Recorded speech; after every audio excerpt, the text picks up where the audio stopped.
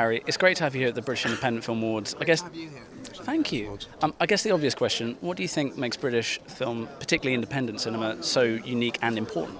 Uh, I think it's important because it gives uh, it gives it gives uh, power and and, uh, and and a voice to. I mean, if it's independent, it gives a power and voice to the writer and the director, and maybe in a way that uh, bigger studio films maybe can't can't allow.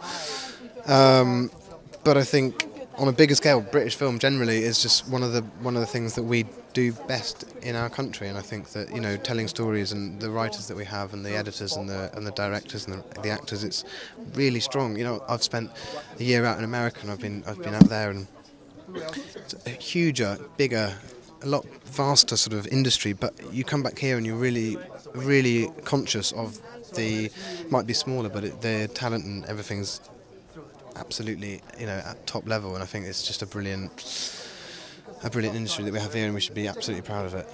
It's an astonishing calibre of films and talent up tonight. Um, are there any in particular that you've been impressed by or were happy to see win? Um, uh, uh, Olivia Colman for Best Supporting Actress. I love her. I think she's amazing, and uh, it was a real privilege to give out to her because she blew my mind in Tyrannosaur last year, and uh, to see her back with winning again is good. Greedy, but good.